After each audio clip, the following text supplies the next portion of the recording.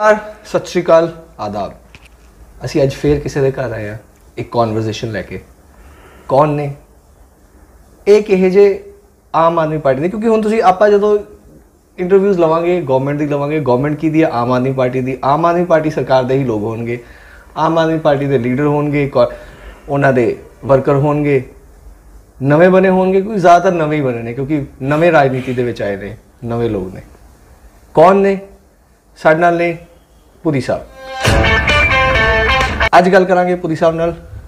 ਮੈਂ ਨਹੀਂ ਦੱਸੂਗਾ ਇਹਨਾਂ ਦਾ ਪੂਰਾ ਨਾਮ ਕੀ ਹੈ, ਮੈਂ ਨਹੀਂ ਦੱਸੂਗਾ ਇਹ ਕੌਣ ਨੇ। ਕਿਵੇਂ ਨੇ? ਇਹਨਾਂ ਤੋਂ ਪੁੱਛਦੇ ਹਾਂ ਕਿ ਕੌਣ ਨੇ। ਇਹ ਮਿਸਟਰ ਪੁਰੀ ਐਕਚੁਅਲੀ ਹੈ ਕੌਣ? ਜਿਨ੍ਹਾਂ ਨੂੰ ਲੋਕ ਨਹੀਂ ਜਾਣਦੇ। ਬਹੁਤ ਘੱਟ ਲੋਕ ਜਾਣਦੇ ਨੇ ਕਿਉਂਕਿ ਇਹ ਇੱਕ ਇੱਕ ਇੱਕ ਜ਼ਿਲ੍ਹੇ ਤੋਂ ਆਉਂਦੇ ਨੇ, ਉੱਥੇ ਲੋਕ ਜਾਣਦੇ ਨੇ। ਉਹਦੇ ਨੇੜੇ ਤੇੜੇ ਦੇ ਲੋਕ ਜਾਣਦੇ ਨੇ, ਪੂਰਾ ਪੰਜਾਬ ਨਹੀਂ ਜਾਣਦਾ। ਲੇਕਿਨ ਜ਼ਿੰਮੇਵਾਰੀ ਜੋ ਮਿਲੀ ਹੈ, ਉਹ ਪੰਜਾਬ ਦੀ ਮਿਲੀ ਹੈ। ਹੁਣ ਪੰਜਾਬ ਦੀ ਜ਼ਿੰਮੇਵਾਰੀ ਨਿਭਾਉਣ ਵਾਸਤੇ ਪੰਜਾਬ ਦੇ ਲੋਕਾਂ ਨੂੰ ਜਾਣਨਾ ਬਹੁਤ ਜ਼ਰੂਰੀ ਹੈ। ਪੁਰੀ ਸਾਹਿਬ ਸਤਿ ਸ਼੍ਰੀ ਅਕਾਲ ਬਹੁਤ ਧੰਨਵਾਦ ਜੀ ਪੁਰੀ ਸਾਹਿਬ ਇਹ ਕੋਈ ਇੰਟਰਵਿਊ ਨਹੀਂ ਹੈ ਇੱਕ ਕਨਵਰਸੇਸ਼ਨ ਹੈ ਇੱਕ ਗੱਲਬਾਤ ਹੈ ਕੈਜੂਅਲ ਟਾਕ ਹੈ ਕੋਈ ਇਹੋ ਜਿਹੀ ਗੱਲ ਨਹੀਂ ਕਿ ਕੋਈ ਪੋਲੀਟੀਕਲ ਹੋ ਜਾਣੀ ਪੋਲੀਟੀਕਲ ਸਵਾਲ ਤਾਂ ਹੋਣਗੇ ਹੀ ਕਿਉਂਕਿ ਆਪਾਂ ਪੋਲੀਟੀਕਲ ਚੀਜ਼ਾਂ ਨਾਲ ਰਿਲੇਟਡ ਆ ਤਾਂ ਪੋਲੀਟੀਕਲ ਸਵਾਲ ਹੋਣਗੇ ਸੋ ਕਰਦੇ ਹਾਂ ਪੁਰੀ ਸਾਹਿਬ ਨਾਲ ਗੱਲਬਾਤ ਪੁਰੀ ਸਾਹਿਬ ਸਤਿ ਸ਼੍ਰੀ ਅਕਾਲ ਜੀ ਸਤਿ ਸ਼੍ਰੀ ਅਕਾਲ ਜੀ ਬਹੁਤ ਬਹੁਤ ਧੰਨਵਾਦ ਤੁਹਾਡਾ। ਪੁਰੀ ਸਾਹਿਬ ਇਹ ਇੱਕ ਸਿੰਪਲ ਕਨਵਰਸੇਸ਼ਨ ਇੱਕ ਸਿੰਪਲ ਗੱਲਬਾਤ ਹੈ ਜਾਨਣਾ ਚਾਹਾਂਗੇ ਲੋਕ ਜਾਨਣਾ ਚਾਹੁੰਦੇ ਨੇ ਕਿ ਨਰਿੰਦਰ ਪੁਰੀ ਰਕੇਸ਼ਪੁਰੀ ਰਕੇਸ਼ ਪੁਰੀ ਸੀ ਆਹੀ ਗੱਲ ਹੈ ਕਿਉਂਕਿ ਆਪਣੇ ਨਾਮ ਮੂੰਹ ਤੇ ਹਲੇ ਨਾਮ ਨਹੀਂ ਚੜਿਆ ਕਿਉਂਕਿ ਲੋਕ ਬਹੁਤ ਘੱਟ ਜਾਣਦੇ ਨੇ ਮੈਂ ਤਾਂ ਇਹਨਾਂ ਨੂੰ ਕਾਫੀ ਦੇਰ ਤੋਂ ਜਾਣਦਾ ਮੈਂ ਜਾਣਦਾ ਨਹੀਂ ਰਕੇਸ਼ ਪੁਰੀ ਜੀ ਨੇ ਲੇਕਿਨ ਲੋਕ ਘੱਟ ਜਾਣਦੇ ਨੇ ਪੰਜਾਬ ਦੇ ਲੋਕ ਜਿਹੜੇ ਬਾਕੀ ਪੰਜਾਬ ਹੈ ਐਡਾ ਵੱਡਾ ਪੰਜਾਬ ਹੈ ਉੱਥੇ ਲੋਕਾਂ ਨੂੰ ਨਹੀਂ ਪਤਾ ਕਿ ਰਾਕੇਸ਼ ਜੀ ਕੌਣ ਨੇ ਕੀ ਕਰਦੇ ਨੇ ਠੀਕ ਹੈ? ਇਹ ਅਪਾਇੰਟ ਹੋਏ ਨੇ ਪੰਜਾਬ ਦੇ ਲੈਵਲ ਤੇ। ਪੰਜਾਬੀ ਚ ਆਪਾਂ ਆਪਾਂ ਸਿੰਪਲ ਭਾਸ਼ਾ 'ਚ ਗੱਲ ਕਰ ਲਈਏ ਇੱਕ ਪੰਜਾਬ ਦੇ ਲੈਵਲ ਦਾ ਇੱਕ ਅਹੁਦਾ ਇਹਨਾਂ ਨੂੰ ਮਿਲਿਆ ਇੱਕ ਜ਼ਿੰਮੇਵਾਰੀ ਮਿਲੀ ਹੈ ਜਿਹਦੇ ਵਿੱਚ ਇਹਨਾਂ ਨੇ ਕੰਮ ਕਰਨਾ ਹੈ ਆਪਦੀ ਸੇਵਾ ਨਿਭਾਣੀ ਹੈ। ਸਰ ਸੇਵਾ ਕਵਾਂ? ਸੇਵਾ ਜੀ ਬਿਲਕੁਲ। ਠੀਕ ਹੈ ਜੀ। ਕਿਉਂਕਿ ਪੋਲੀਟੀਸ਼ੀਅਨ ਸੇਵਾ ਹੀ ਕਹਿੰਦੇ ਨੇ ਠੀਕ ਹੈ? ਸੋ ਸੇਵਾ ਨਿਭਾਣੀ ਹੈ। ਰਾਕੇਸ਼ ਜੀ ਇਹ ਤੋਂ ਪਹਿਲਾਂ ਆਪਾਂ ਪੋਲੀਟੀਕਲ ਚੀਜ਼ਾਂ ਵੱਲ ਵੜੀ ਵਧੀਏ, ਪੰਜਾਬ ਦੀ ਚੀਜ਼ਾਂ ਵੱਲ ਵਧੀਏ। ਮੈਂ ਚਾਹੂੰਗਾ ਤੁਸੀਂ ਪਹਿਲਾਂ ਆਪਦੇ ਬਾਰੇ ਦੱਸੋ ਕਿ ਸਰ, ਆਪਣਾ ਪਰਿਵਾਰ ਆਪਾਂ ਕਿੱਥੋਂ ਸ਼ੁਰੂ ਹੋਏ? ਅਹ, ਵੈਬ ਜੀ ਗੱਲ ਇਸ ਤਰ੍ਹਾਂ ਵੀ ਮੈਂ ਜਿੱਥੋਂ ਤੱਕ ਮੈਂ ਆਪਦੀ ਗੱਲ ਕਰਾਂ, ਦੇਖੋ ਰਾਜਨੀਤਿਕ ਨਾਲ ਜਾਂ ਸਾਡਾ ਕੋਈ ਮਤਲਬ ਕੋਈ ਸੰਬੰਧ ਨਹੀਂ ਸੀ ਨਾ ਮੇਰੀ ਫੈਮਿਲੀ ਦਾ, ਨਾ ਸਾਡੇ ਕੋਈ ਹੋਰ ਪਿੱਛੇ ਕੋਈ, ਮਤਲਬ ਇੱਕ ਆਮ ਇੱਕ ਸਧਾਰਨ ਪਰਿਵਾਰ ਜਿੱਦਾਂ ਦੀ ਗੱਲ ਕਰਦੇ ਹਾਂ, ਸਾਡਾ ਪਿੰਡ ਨਜ਼ਦੀਕ ਹੀ ਇੱਥੇ ਕਟਾਰ ਸਿੰਘ ਵਾਲਾ ਪਿੰਡ ਹੈ ਮੇਰਾ। ਔਰ ਔਰ ਬੜਾ ਇੱਕ ਬਠਿੰਡੇ ਮੈਂ ਅੱਜ ਤੋਂ ਲਗਭਗ 20 ਕੁ ਸਾਲ ਪਹਿਲਾਂ ਮੈਂ ਬਠਿੰਡਾ ਦੇ ਵਿੱਚ ਆਇਆ ਔਰ ਇੱਕ ਛੋਟਾ ਜਿਹਾ ਆਪਣਾ ਕਾਰੋਬਾਰ ਕੀਤਾ। ਔਰ ਮੇਰਾ ਪੈਸਟੀਸਾਈਡ ਦਾ ਮਤਲਬ ਕੰਮ ਸੀ ਬਠਿੰਡਾ ਦੇ ਵਿੱਚ। ਔਰ ਕਿਤੇ ਨਾ ਕਿਤੇ ਜਦੋਂ ਮੈਂ ਪੈਸਟੀਸਾਈਡ ਦੇ ਬਿਜ਼ਨਸ ਦੇ ਨਾਲ ਜੁੜਿਆ ਸੀ, ਬਹੁਤ ਸਾਰੇ ਰਾਜਨੀਤਿਕ ਲੋਕ ਮੇਰੇ ਕੋਲੇ ਆਉਂਦੇ ਸੀਗੇ। ਮਤਲਬ ਰਾਜਨੀਤੀ ਦੀਆਂ ਗੱਲਾਂ ਤਾਂ ਬੇਸਿਕਲੀ ਚੱਲਦੀਆਂ ਸੀ, ਜਿੱਥੋਂ ਤੱਕ ਆਪਾਂ ਗੱਲ ਕਰਦੇ ਹਾਂ, ਪੰਜਾਬ ਦੀ ਗੱਲ ਕਰਦੇ ਹਾਂ, ਹਨਾ। ਤਾਂ ਪੰਜਾਬ ਦੀਆਂ ਕਿਤੇ ਨਾ ਕਿਤੇ ਇਦਾਂ ਦੇ ਇਸ਼ੂ ਜਿਹੜੇ ਪੰਜਾਬ ਦੇ ਵਿੱਚ ਸੋਚਦੇ ਸੀ, ਦਿਮਾਗ ਦੇ ਵਿੱਚ ਚੱਲਦੀਆਂ ਸੀ ਗੱਲਾਂ ਵੀ ਜਿੱਦਾਂ ਦਾ ਮਾਹੌਲ ਪੰਜਾਬ ਦੇ ਵਿੱਚ ਬਣਿਆ ਹੋਇਆ ਹੈ। ਕਿਉਂਕਿ ਮੇਰਾ ਜਿਹੜਾ ਸਭ ਤੋਂ ਮੇਨ ਮੇਰੇ ਦਿਮਾਗ ਦੇ ਵਿੱਚ ਹਮੇਸ਼ਾ ਇਹੀ ਚੀਜ਼ ਰਹਿੰਦੀ ਸੀ ਵੀ ਜਿੱਦਾਂ ਪੰਜਾਬ ਦੇ ਲੋਕਾਂ ਦੇ ਵਿੱਚ ਅੱਜ ਟ੍ਰੈਂਡ ਬਣਿਆ ਹੋਇਆ ਹੈ ਬਾਹਰ ਜਾਣ ਦਾ। ਠੀਕ ਹੈ, ਉਹ ਬੜੀਆਂ, ਮਤਲਬ ਉਹ ਚੀਜ਼ ਮੈਨੂੰ ਬੜੀ ਪ੍ਰਭਾਵਿਤ ਕਰਦੀ ਸੀ ਵੀ ਅੱਜ ਚਾਹੇ ਉਹ ਕਿਸੇ ਮਾਪਿਓ ਦੀ ਗੱਲ ਕਰ ਲਈਏ, ਚਾਹੇ ਉਹ ਸਟੂਡੈਂਟ ਦੀ ਗੱਲ ਕਰ ਲਈਏ, ਬੱਚੇ ਦੀ ਗੱਲ ਕਰ ਲਈਏ, ਹਰ ਇੱਕ ਬੰਦਾ ਇਹੀ ਸੋਚਣ ਲੱਗ ਪਿਆ ਵੀ ਮੈਂ ਪਲੱਸ 2 ਕਰਾਂ ਆਈਲੈਟਸ ਕਰਾਂ ਤੇ ਮੈਂ ਬਾਹਰ ਜਾਵਾਂ। ਠੀਕ ਹੈ? ਤਾਂ ਇਹ ਇੱਕ ਬਹੁਤ ਵੱਡੀ ਸਮੱਸਿਆ ਸੀ ਕਿਤੇ ਨਾ ਕਿਤੇ ਜੇ ਗੱਲ ਕਰਦੇ ਆਪਾਂ ਪੰਜਾਬ ਦੀ। ਪੰਜਾਬ ਦਾ ਜਿਹੜਾ ਬ੍ਰੇਨ ਹੈ ਡਰੇਨ ਡਰੇਨ ਮਤਲਬ ਲਗਾਤਾਰ ਹੋ ਰਿਹਾ ਪੰਜਾਬ ਦਾ ਜਿਹੜਾ ਯੂਥ ਹੈ ਬਾਹਰ ਜਾ ਰਿਹਾ। ਤੋ ਇਹ ਵੀ ਇੱਕ ਮਤਲਬ ਮੇਰੇ ਦਿਮਾਗ 'ਚ ਇੱਕ ਸੀ ਵੀ ਯਾਰ ਕੀ ਬਣੇਗਾ ਪੰਜਾਬ ਦਾ ਇਦਾਂ।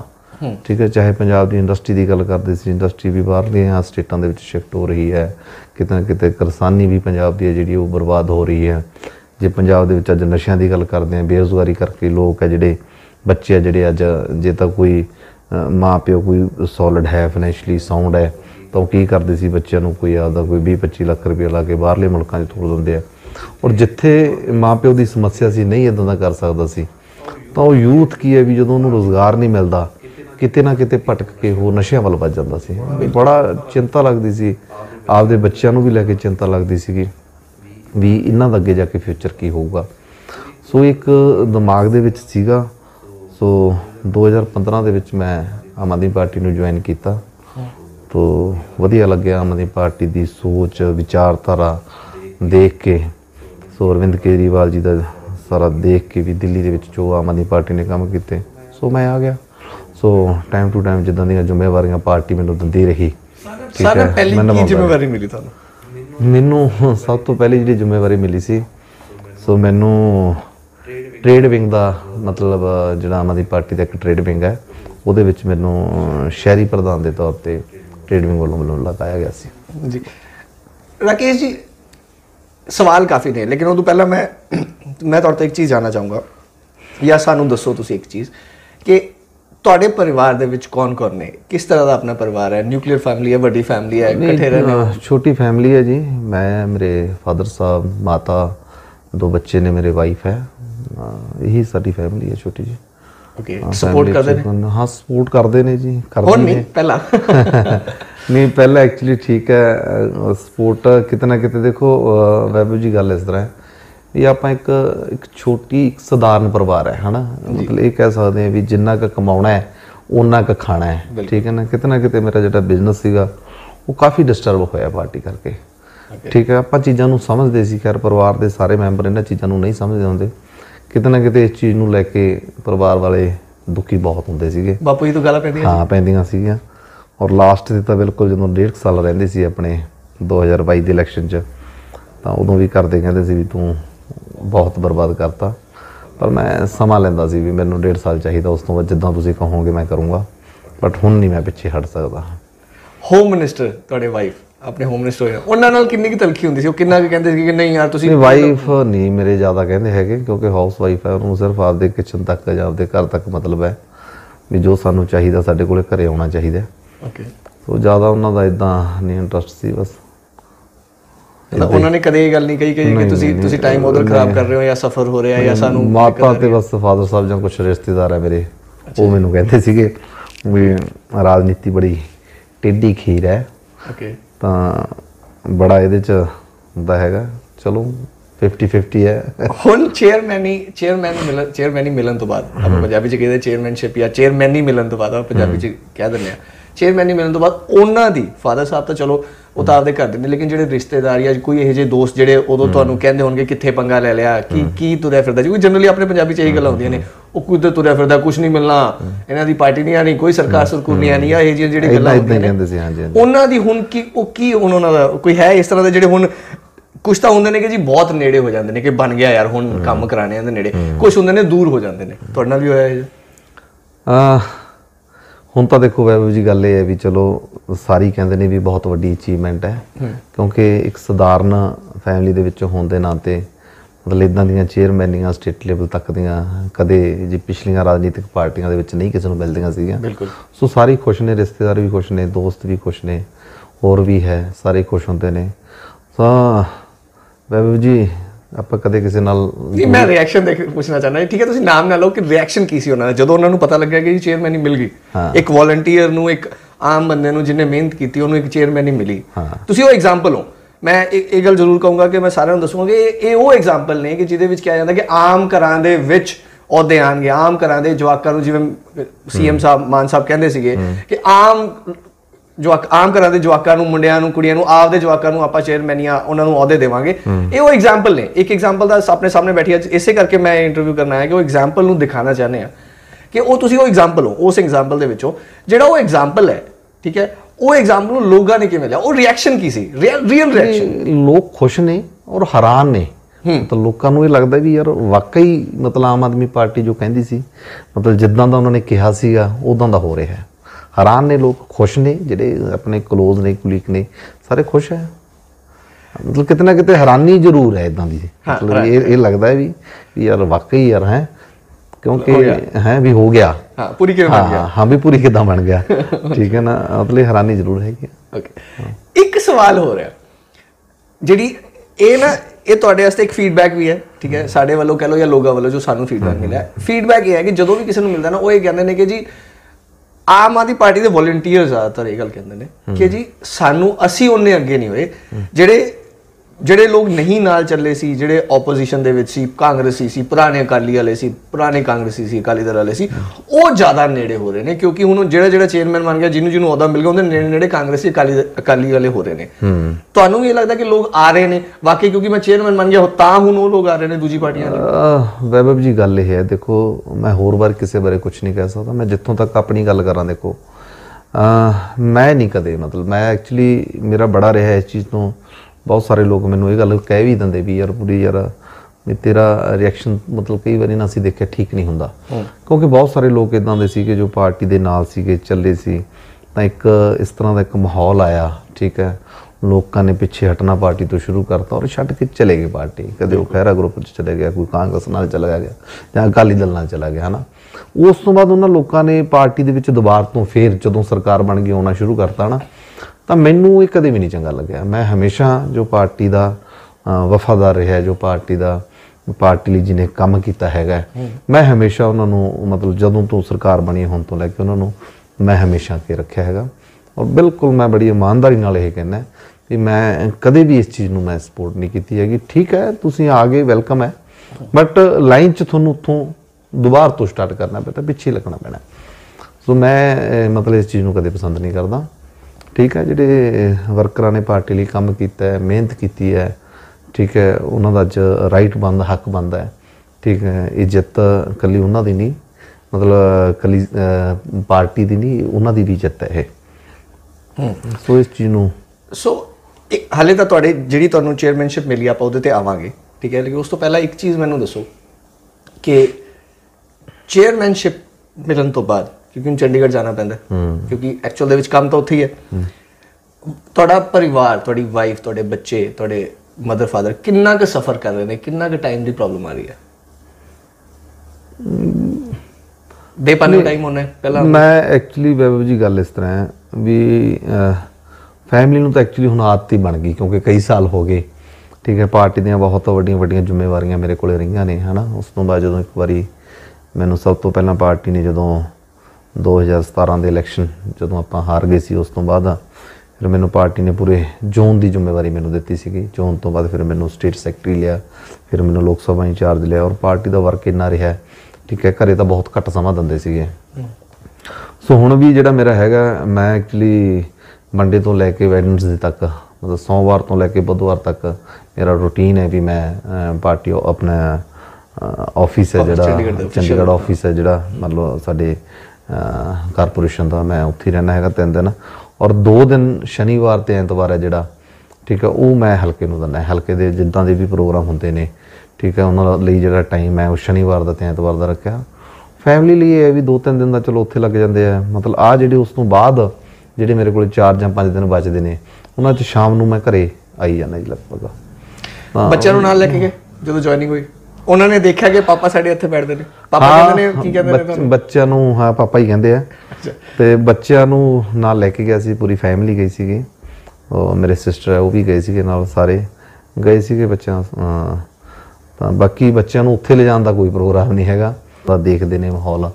ਕੋਈ ਇਹੋ ਜੀ ਗੱਲਬਾਤ ਦੱਸੋ ਕੋਈ ਇਹੋ ਜਿਹਾ ਇਹੋ ਜਿਹਾ ਕੋਈ ਮਤਲਬ ਤੁਹਾਡਾ ਪਰਸਨਲ ਉਹ ਦੱਸੋ ਕਿ ਜਦੋਂ ਬੱਚਿਆਂ ਨੇ ਤੁਹਾਡੇ ਤੋਂ ਸਵਾਲ ਪੁੱਛਿਆ ਹੋਵੇ ਕਿ ਤੁਸੀਂ ਉਹਦੇ ਕਰਦੇ ਕੀ ਹੋ?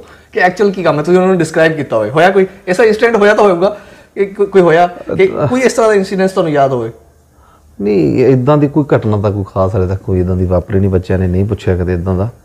ਪਤਾ ਹੈ ਵੀ ਮਤਲਬ ਸਰਕਾਰ ਦੇ ਵਿੱਚ ਜ਼ਿੰਮੇਵਾਰੀ ਮਿਲੀ ਹੈ, ਇੱਕ ਡਿਪਾਰਟਮੈਂਟ ਇਹਨਾਂ ਕੋਲੇ ਉਹ ਡਿਪਾਰਟਮੈਂਟ ਨੂੰ ਇਹਨਾਂ ਨੇ ਡਿਵੈਲਪ ਕਰਨਾ ਅੱਗੇ ਲੈ ਕੇ ਆਉਣਾ। ਇਹ ਚੀਜ਼ਾਂ ਬੱਚੇ ਵੱਡੇ ਨੇ ਸਮਝਦਾਰ ਨੇ। ਤਾਂ ਕਿਤੇ ਨਾ ਨੇ ਕੁਐਸਚਨਸ ਕਿਤੇ ਨਹੀਂ ਪੁੱਛੇ ਕਿ ਤੁਹਾਡਾ ਕੀ ਕੰਮ ਹੈ ਜਾਂ ਤੁਸੀਂ ਕੀ ਕਰਦੇ ਹੋ? ਨਹੀਂ ਨਹੀਂ ਇਦਾਂ ਇਦਾਂ ਦਾ ਕੁਝ ਨਹੀਂ ਹੈਗਾ. ਤੇ ਹਲੇ ਤੱਕ ਤਾਂ ਨਹੀਂ ਚਲੋ ਹਲੇ ਤਾਂ ਟਾਈਮ ਹੀ ਥੋੜਾ ਹੈ ਮਹੀਨੇ ਹੋ ਸਕਦਾ ਅੱਗੇ ਜਾ ਕੇ। ਸਵਾਲ ਪੁੱਛ। ਪੁੱਛਣ ਬੱਚੇ ਹਾਂ। ਚਲੋ ਹੁਣ ਆਪਾਂ ਪ੍ਰਟੇਨਿੰਗ ਕੁਐਸਚਨ ਤੇ ਆਨੇ ਆ ਜਿਹੜਾ ਐਕਚੁਅਲ ਕੁਐਸਚਨ ਹੈ। ਕੀ ਡਿਪਾਰਟਮੈਂਟ ਮਿਲਿਆ ਤੁਹਾਨੂੰ? ਔਰ ਉਹਦਾ ਕੰਮ ਕੀ ਹੈ? ਦੇਖੋ ਜਿਹੜਾ ਮੇਰੇ ਕੋਲੇ ਮਤਲਬ ਹੈ ਇਹ state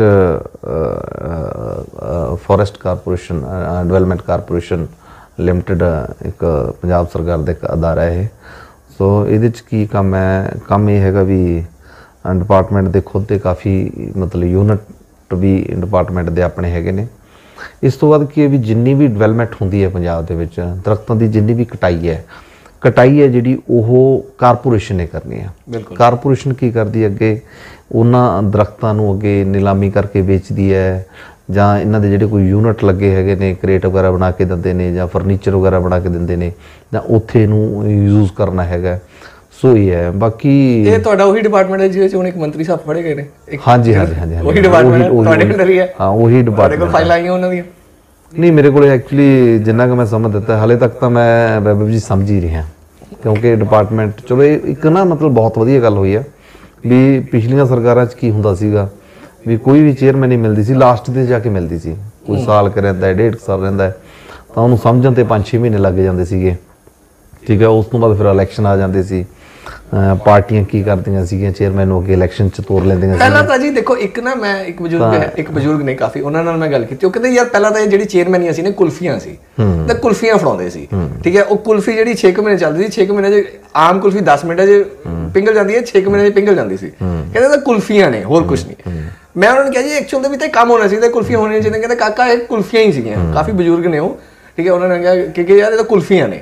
ਸੋ ਮੈਂ ਜਿਹੜੀ ਤੁਸੀਂ ਗੱਲ ਕਰ ਰਹੇ ਹੋ ਕੀ ਵਾਕਈ ਕੁਲਫੀ ਹੈ ਨਹੀਂ ਨਹੀਂ ਕੁਲਫੀਆਂ? ਨਹੀਂ ਦੇਖੋ ਮੈਂ ਤੁਹਾਨੂੰ ਉਹੀ ਉਸੇ ਗੱਲ ਤੇ ਆ ਰਿਹਾ ਸੀਗਾ ਵੀ ਇਸ ਸਾਲ ਸਰਕਾਰ ਨੇ ਜਿਹੜੀ ਜ਼ਿੰਮੇਵਾਰੀ ਮਤਲਬ ਇਹ ਚੇਅਰਮੈਨੀ ਹੈ ਦੇਖੋ 4.5 ਸਾਲ ਪਹਿਲੀਆਂ ਦਿੱਤੀਆਂ ਨੇ ਪਹਿਲਾਂ ਦਿੱਤੀਆਂ ਨੇ।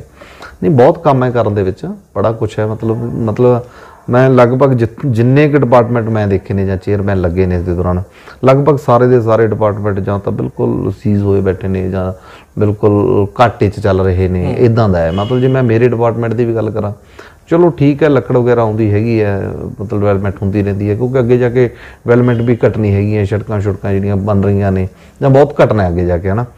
ਤਾਂ ਅਹ, ਕਿਤੇ ਮਤਲਬ ਬੰਦ ਜਾ ਪਿਆ ਜੇ ਆਪਾਂ ਕਹਿ ਦਈਏ। ਠੀਕ ਹੈ। ਨਹੀਂ ਬਹੁਤ ਕੁਝ ਹੈ ਕਰਨ ਨੂੰ। ਸਾਡੇ ਮਤਲਬ ਇਸ ਤੋਂ ਇਲਾਵਾ ਇੱਕ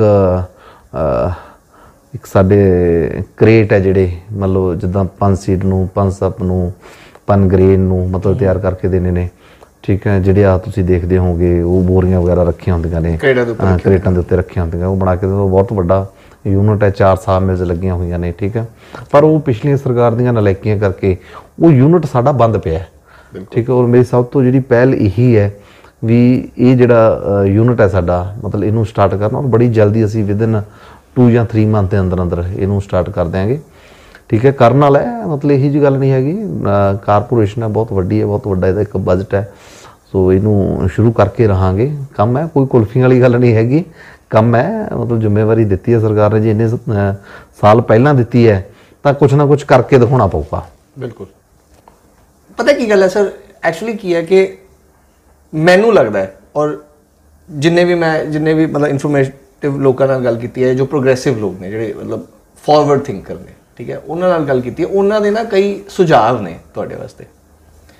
ਤੇ ਮੈਂ ਜਦੋਂ ਦੱਸਿਆ ਕਿ ਜੀ ਮੈਂ ਇਸ ਤਰ੍ਹਾਂ ਜਾ ਰਿਹਾ ਜੀ ਉਹਨਾਂ ਨਾਲ ਕਨਵਰਸੇਸ਼ਨ ਕਰਨ ਵਾਸਤੇ ਕੱਲ ਗੱਲ ਹੋਈ ਸੀ ਆਪਣੀ ਕਿ ਆਪਾਂ ਕਿ ਕੌਣ ਉਹਨਾਂ ਨੇ ਮੈਨੂੰ ਦੋ ਤਿੰਨ ਸੁਝਾਅ ਦਿੱਤੇ। ਅਸੀਂ ਹਰ ਵਾਰੀ ਨਾ ਐਂ ਕਰਦੇ ਹਾਂ ਕਿ ਜੇ ਅਸੀਂ ਸੁਝਾਅ ਨਾ ਲੈ ਕੇ ਆਉਂਦੇ ਹਾਂ ਕਾਫੀ ਹੁੰਦੇ ਨੇ ਪਰ ਦੋ ਤਿੰਨ ਜਿਹੜੇ ਮੇਨ ਮੇਨ ਹੁੰਦੇ ਨੇ ਉਹ ਸੁਝਾਅ ਅੱਗੇ ਰੱਖਦੇ ਹਾਂ। ਬਿਲਕੁਲ ਜੀ ਬਿਲਕੁਲ ਚੰਗੀ।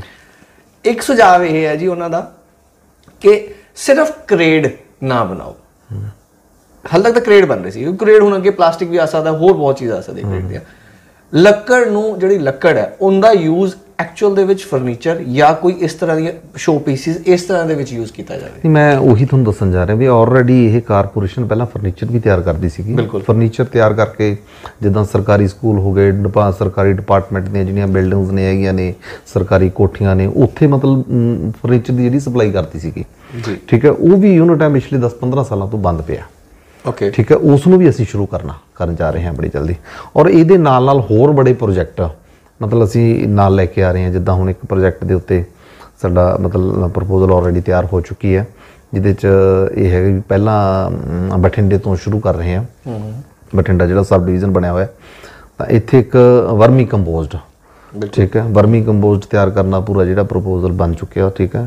ਤਾਂ ਉਹ ਇੱਥੇ ਪਹਿਲਾ ਯੂਨਿਟ ਹੈ ਜਿਹੜਾ ਉਹ ਬਠਿੰਡੇ ਲਾਉਣ ਜਾ ਰਹੇ ਹਾਂ ਜਿਹਦੇ ਨਾਲ ਰੋਜ਼ਗਾਰ ਵੀ ਬਣੂਗਾ ਔਰ ਕਿਤੇ ਨਾ ਕਿਤੇ ਖੇਤੀ ਨੂੰ ਆਪਾਂ ਕਹਿ ਲਈਏ ਮਤਲਬ ਇੱਕ ਆਰਗੈਨਿਕ ਮਤਲਬ ਖੇਤੀ ਨੂੰ ਵੀ ਇੱਕ ਪ੍ਰਮੋਟ ਕਰਦਾ ਇਹ। ਬਿਲਕੁਲ। ਸੋ ਇਹ ਇਹ ਵੀ ਇੱਕ ਯੂਨਿਟ ਲਾਉਣ ਜਾ ਰਹੇ ਹਾਂ ਔਰ ਹੋਰ ਵੀ ਮੜੇ ਦੋ ਤਿੰਨ ਪ੍ਰਪੋਜ਼ਲਾਂ ਹੋਰ ਵੀ ਹੈ ਜਿੱਦਾਂ ਨੀਮ ਆਇਲ ਵਗੈਰਾ ਹੋਰ ਹੋ ਗਿਆ ਠੀਕ ਹੈ ਉਹਦੀ ਕਾਫੀ ਡਿਮਾਂਡ ਹੈ ਠੀਕ ਹੈ ਉਹਦਾ ਜਿਹੜਾ ਯੂਨਿਟ ਅਸੀਂ ਉਹ ਵੀ ਬਠਿੰਡੇ ਲਾਉਣ ਜਾ ਰਹੇ ਹਾਂ। ਸੋ ਮੈਂ ਤੁਹਾਨੂੰ ਵਿੱਚ ਟੋਕੂਗਾ ਸੁਮੇਧ ਜੀ ਸੀ ਉਹਨਾਂ ਨੇ ਨੀਮ ਆਇਲ ਬਾਰੇ ਇੱਕ ਸੁਜੈਸ਼ਨ ਦਿੱਤੀ ਸੀ। ਆਈ ਥਿੰਕ ਮੈਂ ਆਪਣੇ ਕਹਿਣ ਤੋਂ ਪਹਿਲਾਂ ਹੀ ਉਹਨਾਂ ਨੇ ਉਹ ਗੱਲ ਕਹਿਤੀ ਹੈ। ਸੋ ਨੀਮ ਆਇਲ ਇੱਕ ਸੁਜੈਸ਼ਨ ਇਹ ਵੀ ਸੀ ਨੀਮ ਆਇਲ ਫਿਰ ਉਸ ਤੋਂ ਬਾਅਦ ਜਿਵੇਂ ਕਿਉਂ ਨਾਮ ਆਹ ਲੈਮਨ ਗ੍ਰਾਸ ਦੀ ਗੱਲ ਹੋ ਰਹੀ ਸੀ ਠੀਕ ਹੈ ਇਸ ਤਰ੍ਹਾਂ ਦੇ ਉਹ। ਇੱਕ ਜੈਸਮਿਨ ਦੀ ਉਹਨਾਂ ਨੇ ਕਿਹਾ ਕਿ ਜੈਸਮਿਨ ਦੀ ਬਹੁਤ ਡਿਮਾਂਡ ਹੈ। ਔਰ ਕਿਉਂਕਿ ਸਰਕਾਰ ਕੋਲ ਜਗ੍ਹਾ ਵੀ ਹੈ ਔਰ ਸਰਕਾਰ ਇਸ ਨੂੰ ਕਰ ਵੀ ਸਕਦੀ ਹੈ ਕਿ ਜੈਸਮਿਨ ਦਾ ਯੂਜ਼ ਕੀਤਾ ਜਾਵੇ ਜੈਸਮਿਨ ਆਇਲ ਦਾ।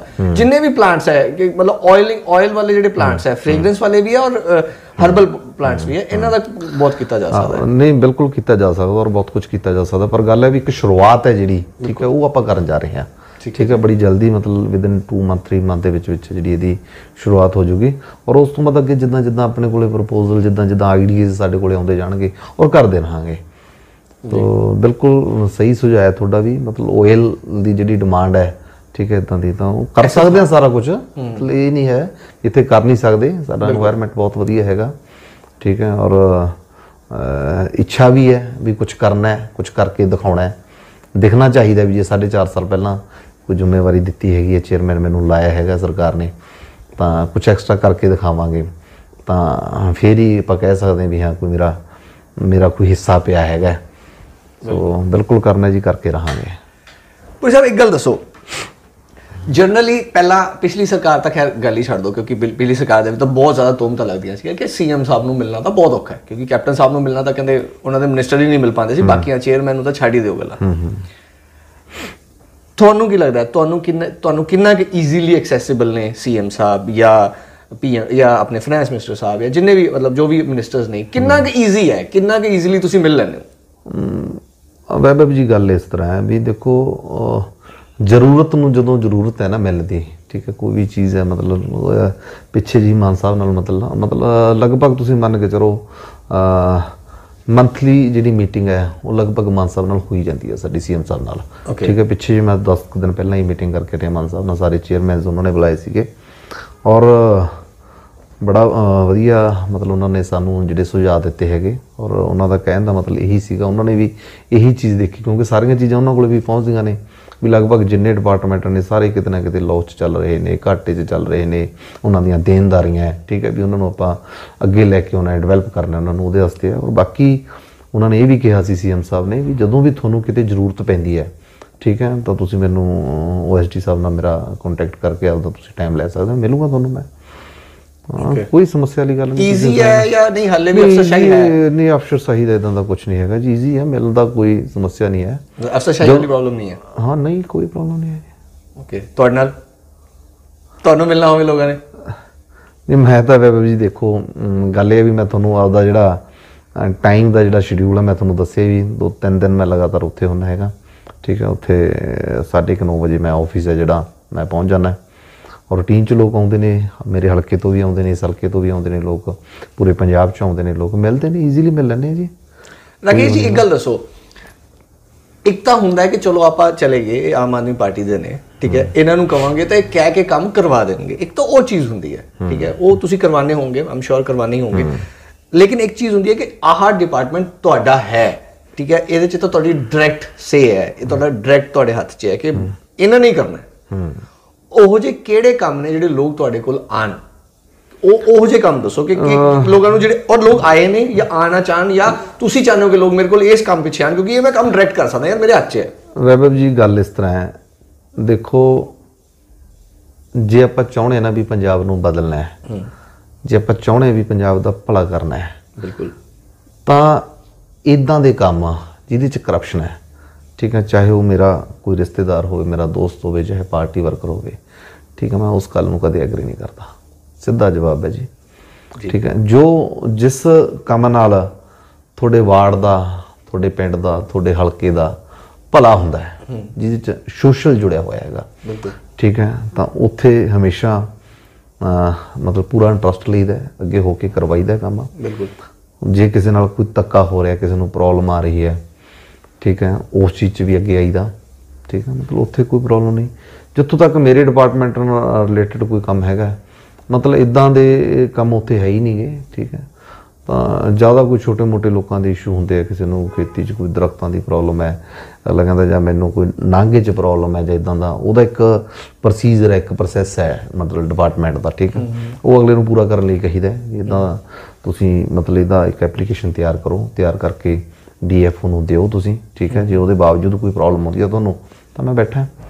ਸੋ ਮਤਲਬ ਅਗਰ ਡੀਐਫਓ ਨਹੀਂ ਸੁਣ ਰਿਹਾ ਜਾਂ ਫੋਰੈਸਟ ਆਫੀਸਰ ਕਿਸੇ ਵੀ ਤਰ੍ਹਾਂ ਦਾ ਫੋਰੈਸਟ ਡਿਪਾਰਟਮੈਂਟ ਅਗਰ ਨਹੀਂ ਸੁਣ ਰਿਹਾ ਉਹ ਲੋਕ ਤੁਹਾਡੇ ਕੋਲ ਆਣ ਰਾਈਟ ਇਹੀ ਇਹੀ ਹੈ ਜੀ ਤੁਹਾਡਾ ਚੈਨਲ ਸਹੀ ਚੈਨਲ ਤੇ ਹੈ ਇਹ, ਹਾਂ ਵੀ ਜੇ ਨਹੀਂ ਸੁਣਦਾ ਤਦ- ਵੀ ਆ ਜਾਣਾ। ਅਦਰਵਾਈਜ਼ ਕਈ ਵਾਰੀ ਲੋਕ ਡੀਐਫਓ ਕੋਲੇ ਜਾਂ ਸੰਬੰਧਿਤ ਅਧਿਕਾਰੀ ਕੋਲੇ ਜਾਂਦੇ ਵੀ ਨਹੀਂ।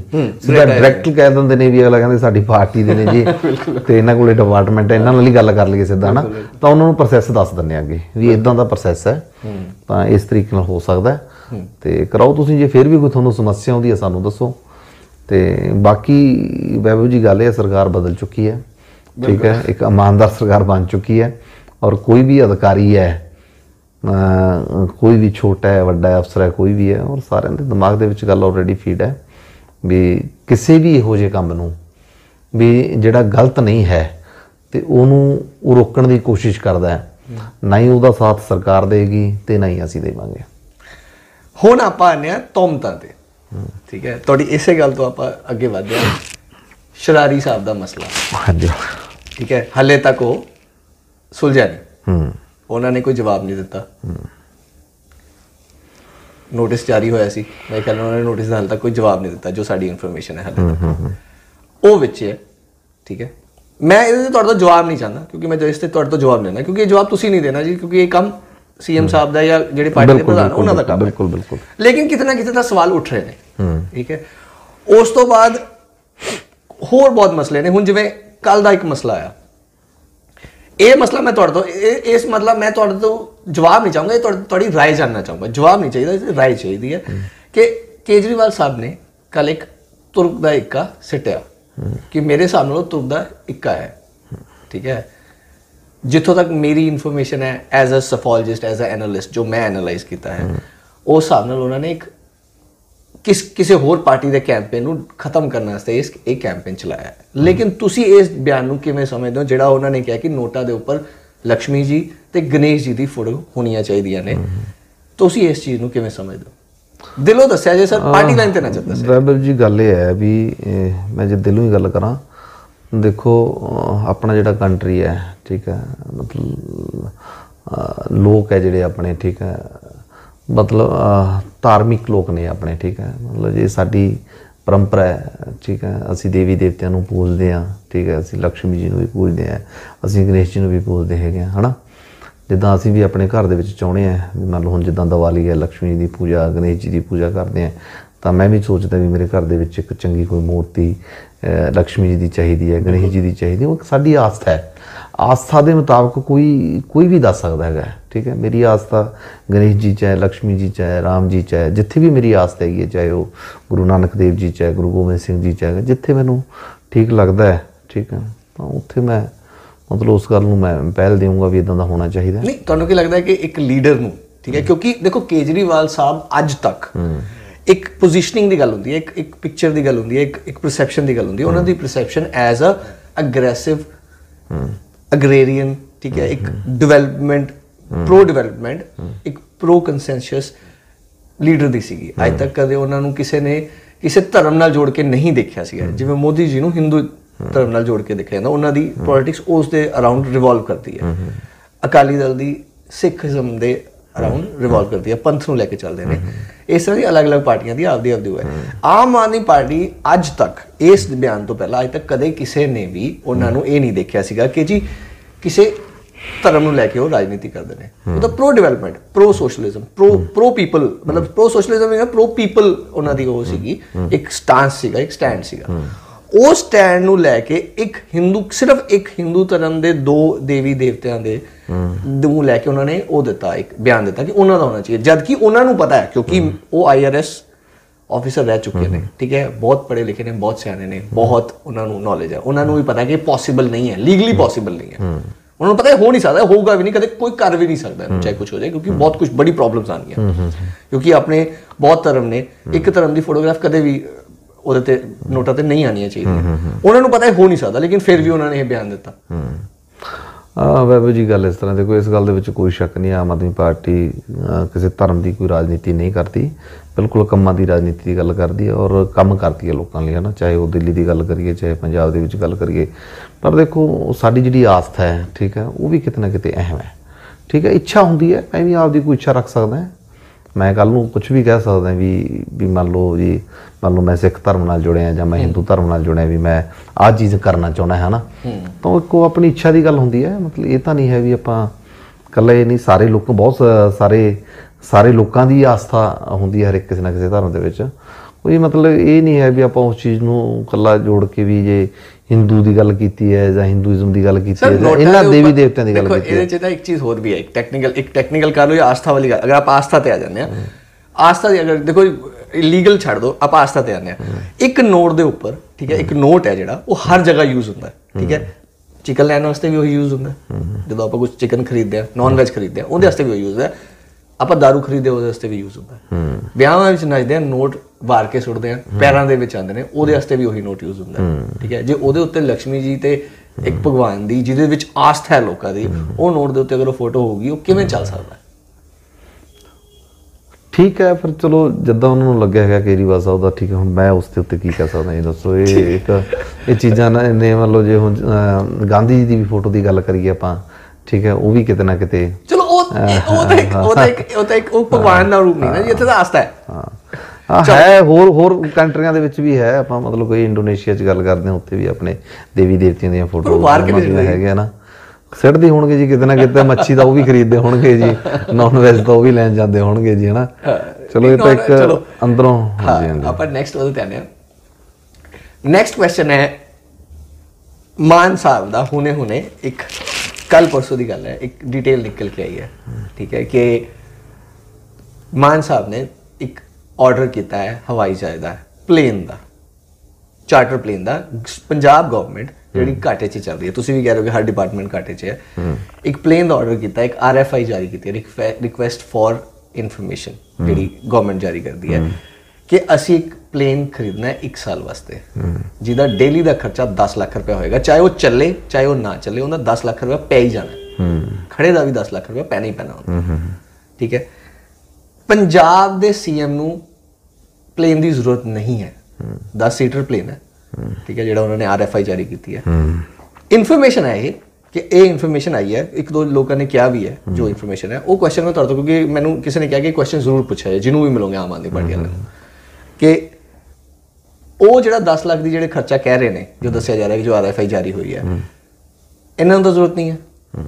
ਮਾਨ ਸਾਹਿਬ ਨੇ ਕਿਤੇ ਵੀ ਜਾਣਾ ਹੈ ਪੰਜਾਬ ਦੇ ਵਿੱਚ ਅਗਰ ਹੈਲੀਕਾਪਟਰ ਤੇ ਵੀ ਜਾਣ ਪਹਿਲੀ ਗੱਲ ਹੈ ਤਾਂ 에ਅਰਪਲੇਨ 에ਅਰ ਸਟ੍ਰਿਪ ਹੀ ਹੈ ਨਹੀਂ ਪੰਜਾਬ ਦੇ ਵਿੱਚ। ਮਸਾਂ ਗਿਣਤੀ ਦੀਆਂ ਦੋ ਚਾਰ 에ਅਰ ਸਟ੍ਰਿਪ ਨੇ ਜਿੱਥੋਂ ਜਹਾਜ਼ ਉਤਰ ਸਕਦਾ ਹੈ।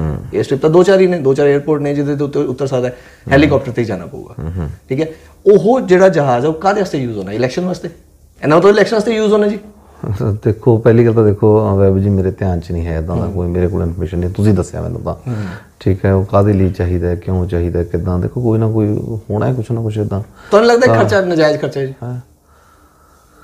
ਦੇਖੋ ਨਜਾਇਜ਼ ਖਰਚਾ ਤਾਂ ਦੇਖੋ ਕੋਈ ਵੀ ਮ- ਚਾਹੇ ਮਾਨ ਸਾਹਿਬ ਦੀ ਗੱਲ ਕਰੀਏ ਹੋਰ ਵੀ ਗੱਲ ਕਰੀਏ ਜਿੱਥੇ ਜਿੱਥੇ ਵੀ ਉਹ ਨਜਾਇਜ਼ ਖਰਚੇ ਸੀਗੇ ਪੰਜਾਬ ਦੇ ਵਿੱਚ ਠੀਕ ਹੈ। ਦੇਖੋ, ਉਹਨਾਂ ਤੋਂ ਉਮੀਦ ਨਹੀਂ ਸੀ ਉਹਨੂੰ ਉਹਨੂੰ ਉਹਨੂੰ ਬੰਦ ਹੀ ਕੀਤਾ ਗਿਆ ਠੀਕ ਹੈ। ਦੇਖੋ ਮੇਰੇ ਧਿਆਨ 'ਚ ਨਹੀਂ ਹੈਗਾ ਇਹਦਾ ਇਹ ਸਾਰਾ। ਮਤਲਬ ਕਿਉਂ ਜ਼ਰੂਰਤ ਪਈ ਹੈ ਜਾਂ ਲੋੜ ਹੈਗੀ ਹੈ ਠੀਕ ਹੈ। ਕੁਛ ਨਾ ਕੁਛ ਦੇਖ ਕੇ ਕੀਤਾ ਹੋਣਾ ਉਹਨਾਂ ਨੇ। ਸੋ ਦੇਖਾਂਗੇ ਕੀ ਹੈ ਮੇਰੇ ਤਾਂ ਖਰ ਕੋਈ ਜ਼ਿਆਦਾ ਧਿਆਨ 'ਚ ਨਹੀਂ ਠੀਕ ਹੈ। ਕਿਉਂਕਿ ਇਹ ਇੱਕ ਸੀ ਮਾਨ ਸਾਹਿਬ ਤੋਂ ਇਹ ਉਮੀਦ ਨਹੀਂ ਹੈ ਲੋਕਾਂ ਨੂੰ। ਕਿਸੇ ਨੂੰ ਵੀ ਨਹੀਂ ਹੈ। ਕਿਉਂ ਕਿਉਂ? ਕਿਉਂਕਿ ਮਾਨ ਸਾਹਿਬ ਉਹ ਉਹ ਇਨਸਾਨ ਨੇ ਉਹ ਲੀਡਰ ਨੇ ਜਿਨ੍ਹਾਂ ਨੇ ਇਹਨਾਂ ਚੀਜ਼ਾਂ ਤੋਂ ਪਰਦੇ ਚੱਕੇ ਕਿ ਜੀ ਇਸ ਇਸ ਚੀਜ਼ ਦੀਆਂ ਖਰਚੇ ਨਜਾਇਜ਼ ਕੋਈ ਸ਼ੱਕ ਨਹੀਂ ਜੀ ਜੇ ਇਹੀ ਚੀਜ਼ ਕਿਉਂਕਿ ਮਾਨ ਸਾਹਿਬ ਨੂੰ ਲੱਗਦਾ ਨਹੀਂ ਹੈ ਕਿ ਪੰਜਾਬ ਦੇ ਵਿੱਚ ਤਾਂ ਐਰੋਪਲੇਨ ਚੱਲ ਵੀ ਨਹੀਂ ਸਕਦਾ। ਕਿਉਂਕਿ ਹੈਲੀਕਾਪਟਰ ਦੇ ਵਿੱਚ ਘੰਟੇ ਡੇਢ ਘੰਟੇ ਦੇ ਤੁਸੀਂ ਪੰਜਾਬ ਕਵਰ ਕਰ ਦਿੰਦੇ ਹੋ। ਈਵਨ ਜੇ ਉਹਨਾਂ ਨੇ ਦਿੱਲੀ ਵੀ ਜਾਣਾ ਹੈ ਚਲੋ ਜਿਹੜਾ ਉਹਨਾਂ ਦਾ ਕੰਮ ਜ਼ਿਆਦਾਤਰ ਦਿੱਲੀ ਪੈਂਦਾ ਹੈ। ਜੇ ਉਹਨਾਂ ਨੇ ਦਿੱਲੀ ਵੀ ਜਾਣਾ ਤਾਂ ਡੇਢ ਦੋ ਘੰਟੇ ਦੇ ਵਿੱਚ ਹੈਲੀਕਾਪਟਰ ਪਹੁੰਚ ਜਾਂਦਾ ਹੈ। ਨਹੀਂ ਮੇਰੇ ਧਿਆਨ ਚ ਨਹੀਂ ਹੈਗਾ ਜੀ ਮਤਲਬ ਕਨਫਰਮ ਨਹੀਂ ਮੈਨੂੰ ਕੀ ਹੈ ਤੁਸੀਂ ਕਹਿ ਰਹੇ ਹੋ ਦੱਸ ਰਹੇ ਹੋ ਮੈਨੂੰ ਨਹੀਂ ਪਤਾ ਇਹਦੇ ਬਾਰੇ ਕੋਈ ਇਦਾਂ ਦੀ ਹੈਗੀ ਹੈ ਜਾਂ ਕੋਈ ਲੱਗਦਾ ਨਹੀਂ ਹੈ ਵੀ ਕੋਈ ਇਦਾਂ ਦੀ ਜ਼ਰੂਰਤ ਹੈਗੀ ਹੈ। ਤੇ ਜੇ ਹੋਏਗੀ ਤਦ ਹੀ ਕੀਤਾ ਹੋਣਾ ਕੁਛ ਨਾ ਕੁਛ ਜ਼ਰੂਰਤ ਹੋਣੀ ਹੈ ਜੇ ਕੀਤਾ ਹੋਏਗਾ ਤਾਂ। ਠੀਕ ਹੈ ਮੈਨੂੰ ਹਲੇ ਤੱਕ ਇਹਦੇ ਬਾਰੇ ਕੋਈ ਜਾਣਕਾਰੀ ਨਹੀਂ ਹੈ ਜੀ। ਸੁਣਨ ਚ ਆਇਆ ਕਿ ਕਿਸੇ ਨੇ ਆਰਟੀਆਈ ਪਾਈ ਸੀਗੀ ਕਿ ਉਹਦੇ ਵਿੱਚੋਂ ਕੁਝ ਨਿਕਲਿਆ ਉਹਦੇ ਵਿੱਚੋਂ ਇਹ ਇਨਫੋਰਮੇਸ਼ਨ ਆਈ ਹੈ। ਕੱਲ ਆਈ ਥਿੰਕ ਦੋ ਜਣਿਆਂ ਨੇ ਵੀ ਆਈ ਹੈ ਇੱਕ ਲੱਖਾ ਸਿਧਾਨਾ ਤੇ ਇੱਕ ਉਧਰ ਆਪਣੇ ਕਾਂਗਰਸ ਦੇ ਇੱਕ ਲੀਡਰ ਹੈ ਉਹਨਾਂ ਨੇ ਇਹ ਉਹ ਇਨਫੋਰਮੇਸ਼ਨ ਇਹ ਤਾਂ ਜੀ ਕੁਛ ਨਾ ਕੁਛ ਕਹਿੰਦੇ ਰਹਿੰਦੇ ਜੀ ਦਾ ਤਾਂ ਕੀ ਹੈ ਚਾਹੇ see, ਉਹ ਉਹ- ਕਾਂਗਰਸ ਉਹ ਜੋ ਮਰਜ਼ੀ ਕਹਿ ਰਹੇ ਹੋਣ। ਮੈਂ ਤੁਹਾਡੀ ਐਕਚੁਅਲੀ ਗੱਲ ਪਤਾ ਕੀ ਹੈ ਜੀ ਵਿਕਾਸ ਦੇ ਮੁੱਦੇ ਦੀ ਜੇਕਰ ਆਪਾਂ ਗੱਲ ਕਰੀਏ ਪੰਜਾਬ ਦੇ ਵਿੱਚ ਠੀਕ ਹੈ। ਮਤਲਬ ਜਿਸ ਤਰੀਕੇ ਨਾਲ ਆਮ ਆਦਮੀ ਪਾਰਟੀ ਕੰਮ ਕਰ ਰਹੀ ਹੈ ਪੰਜਾਬ ਦੇ ਵਿੱਚ ਚਾਹੇ ਉਹ ਕਿਸਾਨਾਂ ਨੂੰ ਲੈ ਕੇ ਵਪਾਰੀਆਂ ਨੂੰ ਲੈ ਕੇ ਚਾਹੇ ਬੇਰੁਜ਼ਗਾਰੀ ਨੂੰ ਲੈ ਕੇ ਚਾਹੇ ਉਹ ਇੰਡਸਟਰੀ ਨੂੰ ਲੈ ਕੇ ਕਰ ਰਹੀ ਹੈ ਤਾਂ ਇਹਨਾਂ ਨੂੰ ਕੋਈ ਮੁੱਦਾ ਹੀ ਨਹੀਂ ਬਚਦਾ। ਇਦਾਂ ਦਾ ਕੁਛ ਨਾ ਕੁਛ ਗਲਤ ਬਿਆਨਬਾਜ਼ੀ ਗਲਤ ਕੋਈ ਇਦਾਂ ਦੀਆਂ ਇਨਫੋਰਮੇਸ਼ਨਸ ਲੋਕਾਂ ਦੇ ਅੰਦਰ ਮਤਲਬ ਵਾਇਰਲ ਕਰਨ ਦੀ ਕੋਸ਼ਿਸ਼ ਕਰਦੇ ਆ। ਵੀ ਜਿਹਦੇ ਨਾਲ ਮਾਨ ਸਾਹਿਬ ਦਾ ਸਾਡੇ ਸੀਐਮ ਸਾਹਿਬ ਦਾ ਜਾਂ ਸਰਕਾਰ ਦਾ ਕਿਤੇ ਨਾ ਕਿਤੇ ਅਕਸ਼ ਖਰਾਬ ਕੀਤਾ ਜਾਵੇ। ਸੋ ਮੈਨੂੰ ਨਹੀਂ ਲੱਗਦਾ ਇਦਾਂ ਦਾ ਕੋਈ ਹੈਗਾ। ਤੇ ਬਾਕੀ ਦੇਖੋ ਮੇਰੇ ਕੁਝ ਧਿਆਨ ਚ ਨਹੀਂ ਹੈਗਾ ਇਦਾਂ ਦਾ। ਚਲੋ ਹੋਰ ਇਨਫੋਰਮੇਸ਼ਨ ਆਏਗੀ ਤਾਂ ਜ਼ਰੂਰ ਆਪਾਂ ਗੱਲ ਕਰਾਂਗੇ ਇਸ ਬਾਰੇ। ਹੁਣ ਤੁਹਾਡੇ ਤੋਂ ਇੱਕ ਚੀਜ਼ ਦੱਸੋ ਸਰ। 7-8 ਮਹੀਨੇ ਹੋ ਚੁੱਕੇ ਨੇ ਸਰਕਾਰ ਬਣੀ ਨੂੰ। ਠੀਕ ਹੈ ਹਨੀਮੂਨ ਪੀਰੀਅਡ ਓਵਰ ਹੋ ਗਿਆ। 6 ਮਹੀਨੇ ਦਾ ਹਨੀਮੂਨ ਪੀਰੀਅਡ ਹੁੰਦਾ ਵੈਸੇ ਤਾਂ। ਠੀਕ ਹੈ ਓਵਰ ਹੋ ਚੁੱਕਿਆ। ਵੈਸੇ 3 ਮਹੀਨੇ ਕਹਿੰਦੇ ਚਲੋ ਆਪਾਂ ਕਹਿੰਦੇ 6 ਮਹੀਨੇ ਕਿਉਂਕਿ ਸਭ ਨਏ ਸੀ। ਸਾਰੇ ਲੀਡਰਸ ਨਏ ਸੀ ਐਮਐਲਏਸ ਨਏ ਸੀ ਚੇਅਰਮੈਨਸ ਨਏ ਸੀ ਸਭ ਨਏ ਸੀ ਸਭ ਲੋਕ ਨਏ ਸੀ। ਠੀਕ ਹੈ ਹੁਣ ਉਹ ਓਵਰ ਹੋ ਚੁੱਕਿਆ। ਲੇਕਿਨ ਜਿਹੜੇ ਪਿਛਲੇ 7 ਮਹੀਨੇ ਨੇ ਠੀਕ ਹੈ ਉਹਦੇ ਵਿੱਚੋਂ ਕੀ ਹਿੱਟ ਨੇ ਤੇ ਕੀ ਮਿਸਸ ਨੇ? ਜਿਹੜੇ ਤੁਹਾਨੂੰ ਇੰਡੀਵਿਜੂਅਲੀ ਲੱਗਦੇ ਹੋਣ ਕਿ ਜੀ ਆ ਤਾਂ ਹਿੱਟ ਨੇ ਆ ਕੰਮ ਅਸੀਂ ਕਰਤੇ। ਫੋਰ ਐਗਜ਼ਾਮਪਲ ਮੈਂ ਹੀ ਗਿਣਾ ਦੇਣਾ ਜੀ ਦੋ ਤਿੰਨ ਕੰਮ ਜਿਹੜੇ ਹਿੱਟ ਲੱਗਦੇ ਨੇ। ਇੱਕ 300 ਯੂਨਿਟ ਮਾਫ ਹੋਈ। ਹੋ। ਗਈ ਲੋਕਾਂ ਦੇ ਬਿੱਲ ਆਣੇ ਸ਼ੁਰੂ ਹੋ ਗਏ। ਕਿਸੇ ਦਾ 100 ਆ ਰਿਹਾ ਕਿਸੇ ਦਾ 63 ਰੁਪਏ ਆਇਆ ਮੈਂ ਵੀ ਕੱਲ ਦੇਖਿਆ ਕਿਸੇ ਦਾ 63 ਵੀ ਆਇਆ 100 ਵੀ ਆਇਆ। ਕਿਸੇ ਦੇ ਜ਼ਿਆਦਾ ਵੀ ਆਏ। ਚਲੋ 300 ਯੂਨਿਟ ਤੱਕ ਮਾਫ ਹੋਇਆ। 300 ਯੂਨਿਟ ਤੱਕ ਹੋਇਆ ਬਾਕੀ ਦੀ ਗੱਲਾਂ ਬਾਕੀ ਜਿਹੜੇ ਨਾਲ ਐਡੀਸ਼ਨਲ ਚੀਜ਼ਾਂ ਨੇ ਉਹਨਾਂ ਨੂੰ ਛੱਡ ਦਿੰਦੇ ਹਾਂ, 300 ਯੂਨਿਟ ਤੱਕ ਹੋਇਆ। ਇੱਕ ਤੁਸੀਂ ਆ ਇਹ ਇਹ ਗਿਣਾਉਣ ਨੂੰ ਹੈਗਾ। ਬਟ ਨੇ ਕੀਤਾ। 1000 ਰੁਪਏ ਵਾਲਾ ਹੋਇਆ ਨਹੀਂ ਹਲੇ ਜਿਹੜਾ ਲੇਡੀਜ਼ ਵੇਟ ਕਰ ਰਹੀਆਂ ਨੇ। 1000 ਰੁਪਏ ਵਾਲਾ ਹਲੇ ਉਹਨੂੰ ਟਾਈਮ ਹੈ। ਮਾਨ ਸਾਹਿਬ ਨੇ ਕਿਹਾ ਕਰਾਂਗੇ ਲੇਕਿਨ ਉਹਨੂੰ ਹਲੇ ਟਾਈਮ ਹੈ ਲੇਕਿਨ ਉਹ ਹਲੇ ਤੱਕ ਹੋਇਆ ਨਹੀਂ।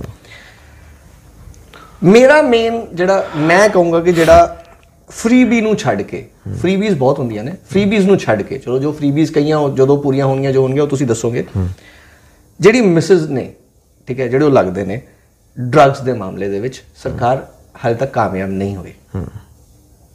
ਡਰੱਗਸ ਦੇ ਵਿੱਚ ਹੱਲੇ ਵੀ ਪ੍ਰੋਬਲਮਸ ਉੱਥੇ ਦੀ ਉੱਥੇ ਨੇ। ਔਰ ਮੰਨਦੇ ਨੇ ਹਰ ਕੋਈ ਮੰਨਦਾ ਹੈ ਇਹ ਚੀਜ਼। ਡਰੱਗਸ ਉੱਥੇ ਨੇ।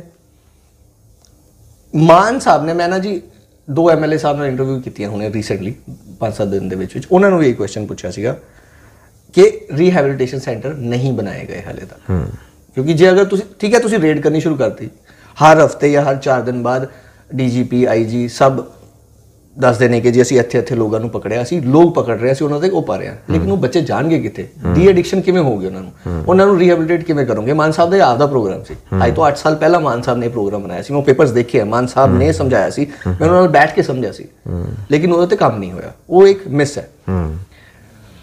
ਇੱਕ ਮਿਸ ਇਹ ਹੈ ਕਿ EMPLOYMENT ਜਨਰੇਟ ਕਰਨ ਵਾਸਤੇ। ਮੈਂ ਇਹ ਨਹੀਂ ਕਹਿ ਰਿਹਾ ਸਰਕਾਰੀ EMPLOYMENTS ਦੇ ਵਿੱਚ ਲੱਗੇ ਹੋਏ ਨੇ ਹੌਲੀ ਹੌਲੀ ਜਨਰੇਸ਼ਨ ਹੋ ਰਹੀ ਹੈ। ਲੇਕਿਨ ਉਹ ਸਪੇਸ ਤੇ ਨਹੀਂ ਹੋ ਰਹੀ ਜਿੰਨੇ ਲੋਕ ਚਾਹੁੰਦੇ ਸੀਗੇ ਉਹ ਸਪੇਸ ਤੇ ਨਹੀਂ ਹੋ ਰਹੀ ਲੇਕਿਨ ਹੋ ਰਹੀ ਹੈ। ਆਈ ਗਿਵ ਯੂ ਥੈਟ ਕਿਉਂਕਿ 6 ਮਹੀਨੇ 7 ਮਹੀਨੇ ਹੋਇਆ ਇਹਦੇ ਚ ਆਪਾਂ ਜ਼ਿਆਦਾ ਨਹੀਂ ਉਹ ਕਰਾਂਗੇ। ਲੇਕਿਨ ਪ੍ਰਾਈਵੇਟ EMPLOYMENT ਵਾਸਤੇ ਕੀ ਕੀਤਾ ਜਾ ਰਿਹਾ? ਅਹ ਵੈਭਵ ਜੀ ਗੱਲ ਇਹ ਹੈ ਵੀ ਦੇਖੋ ਤੁਸੀਂ ਸਾਰੀ ਜਾਣਦੇ ਹੋ। ਠੀਕ ਹੈ।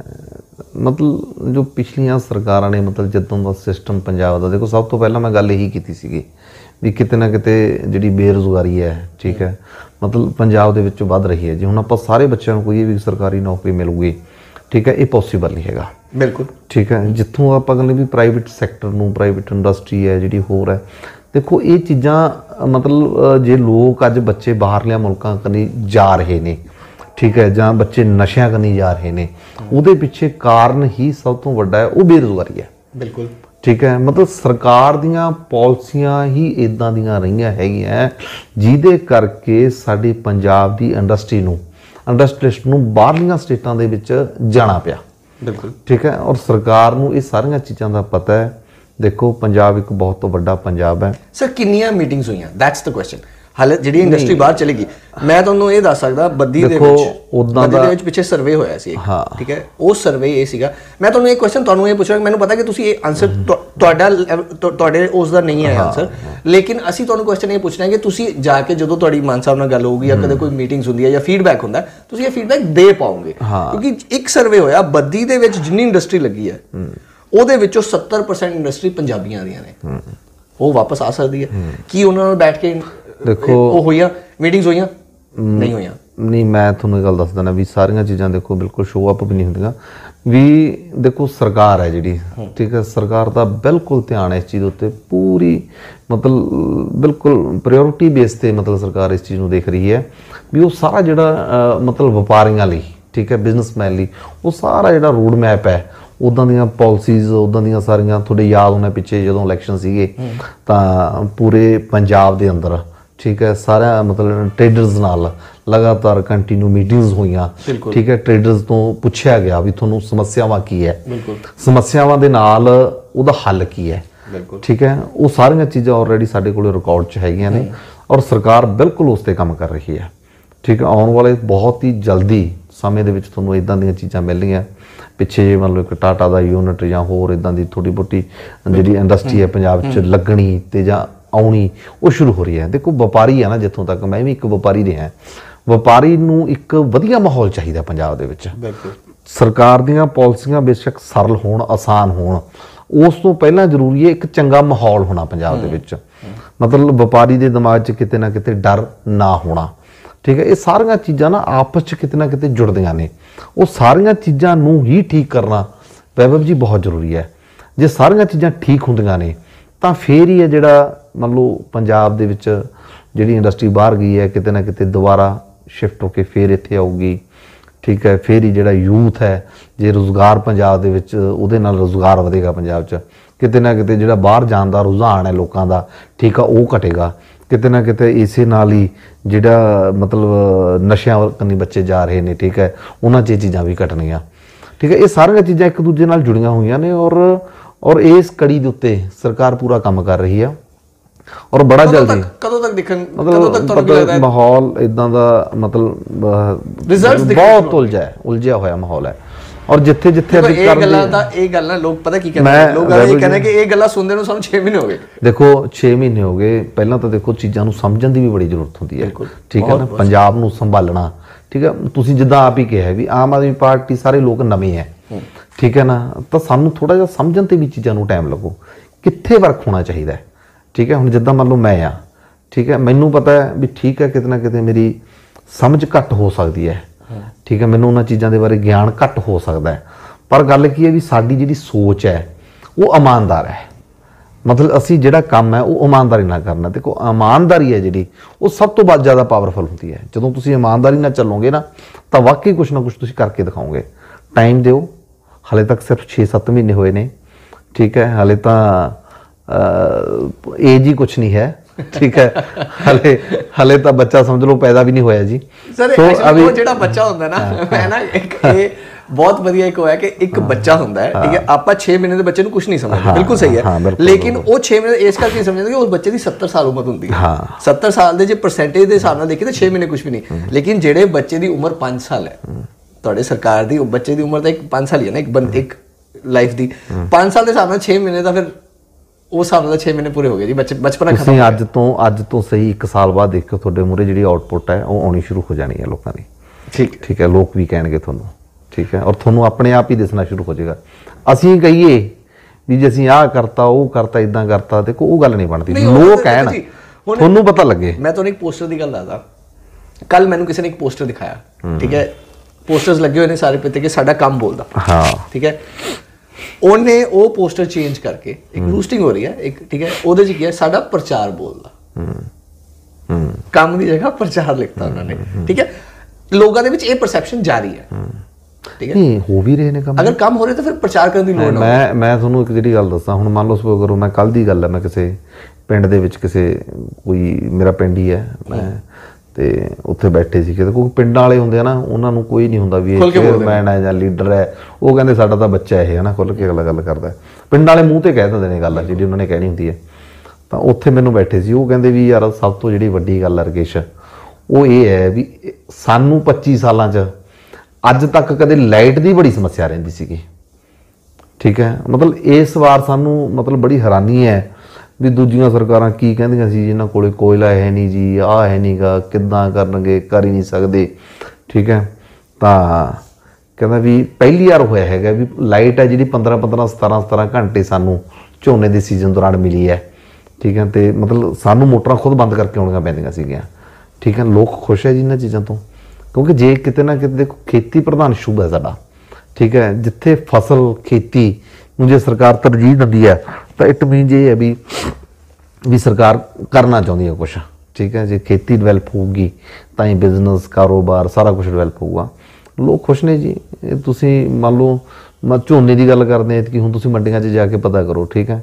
ਤੁਸੀਂ ਦੇਖੋ ਸੋ ਕਿਸੇ ਨੂੰ ਕੋਈ ਸਮੱਸਿਆ ਆਈ ਹੈ ਕੋਈ ਸਮੱਸਿਆ ਨਹੀਂ ਆਈ। ਲੇਕਿਨ ਲੋਕ ਇਹ ਕਹਿ ਰਹੇ ਨੇ ਜੀ ਹਲੇ ਤੱਕ ਜਿਹੜਾ ਉਹ ਮੂੰਗੀ ਦੇ ਜਿਹੜੇ ਜਿਹੜਾ ਉਹ ਸੀ ਉਹ ਹਲੇ ਤੱਕ ਪੂਰਾ ਆਇਆ ਨਹੀਂ ਹਲੇ ਮਿਲਿਆ ਨਹੀਂ। ਜਿਹੜੀ ਜਿਹੜੀ ਡਾਇਰੈਕਟ ਬਿਜਾਈ ਦੀ ਗੱਲ ਹੋਈ ਸੀ ਸਿੱਧੀ ਬਿਜਾਈ ਦੀ ਗੱਲ ਹੋਈ ਸੀ ਰਾਈਸ ਦੀ। ਉਹਦੇ ਵੀ ਪੈਸੇ ਹਲੇ ਲਮਕੀ ਜਾਂਦੇ ਨੇ। ਲੋਕ ਇਹ ਗੱਲ ਕਹਿ ਰਹੇ ਨੇ। ਇਹ ਤਰੁੱਟੀਆਂ ਹੈ। ਇੱਕ ਤਰੁੱਟੀ ਹੋਰ ਹੈ। ਕਨਵੇ ਅਸਾਂ ਅਸੀਂ ਇਹ ਕਹਾਂਗੇ ਤੁਸੀਂ ਕਨਵੇ ਹੀ ਕਰਦੇ ਜੇ ਅਗਰ ਹੋ ਸਕੇ ਤਾਂ ਕਨਵੇ ਕਰਦੇ ਜੇ ਕਿ ਲੋਕਾਂ ਦੀਆਂ ਤਨਖਾਹਾਂ ਬਹੁਤ ਟਾਈਮ ਤੋਂ ਰੁਕੀਆਂ ਹੋਈਆਂ ਜਿਹੜੀਆਂ ਨਹੀਂ ਮਿਲ ਰਹੀਆਂ ਮੰਨਦਾ ਫਾਈਨੈਂਸ ਦੀ ਪ੍ਰੋਬਲਮ ਹੈ। ਇਸ 'ਚ ਕੋਈ ਦੋ ਰਾਏ ਨਹੀਂ ਹਰ ਕੋਈ ਜਾਣਦਾ ਕਿ ਜੀ ਫਾਈਨੈਂਸ ਦੀ ਪ੍ਰੋਬਲਮ ਹੈ। ਲੇਕਿਨ ਲੋਕਾਂ ਦੀ ਇਹ ਗੱਲ ਕਹਿਣੀ ਹੈ ਕਿ ਸਾਡੀ ਤਾਂ ਫਾਈਨੈਂਸ ਦੀ ਪ੍ਰੋਬਲਮ ਸਾਡੇ ਵਾਸਤੇ ਫਾਈਨੈਂਸ ਦੀ ਪ੍ਰੋਬਲਮ ਹੈ। ਅਸੀਂ ਦੋ ਤਿੰਨ ਤਿੰਨ ਮਹੀਨੇ ਕੰਮ ਕਰਕੇ ਸਾਡੀ ਤਨਖਾਹ ਨਹੀਂ ਆ ਰਹੀ। ਠੀਕ ਹੈ ਸਾਡੇ ਵਾਸਤੇ ਫਾਈਨੈਂਸ ਦੀ ਪ੍ਰੋਬਲਮ ਹੈ ਲੇਕਿਨ ਜਿਹੜੀ ਫ੍ਰੀ ਚੀਜ਼ਾਂ ਵੰਡੀ ਜਾਂਦੀਆਂ ਫਿਰ ਉਹ ਕਿਉਂ ਹੈ? ਇਹ ਲੋਕ ਇਹ ਪੁੱਛ ਰਹੇ ਨੇ ਸਵਾਲ।